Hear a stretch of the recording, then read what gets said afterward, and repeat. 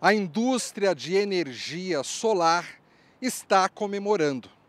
Enquanto no ano passado muitos setores da economia amargaram um ano ruim aqui no Brasil, o setor de energia solar conseguiu um crescimento de 70% na instalação de placas solares.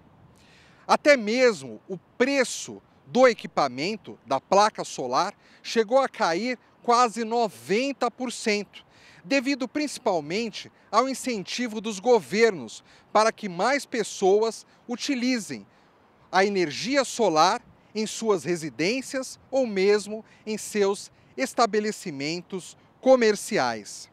Tramita também em caráter de urgência na Câmara Federal o projeto de lei 5829 de 2019, que gera benefícios para as pessoas que adotam a energia solar em suas residências, em seus comércios.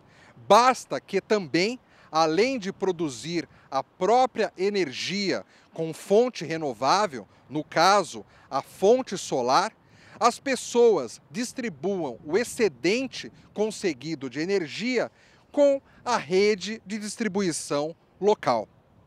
Fábio de Lima, para a Rede Alesp.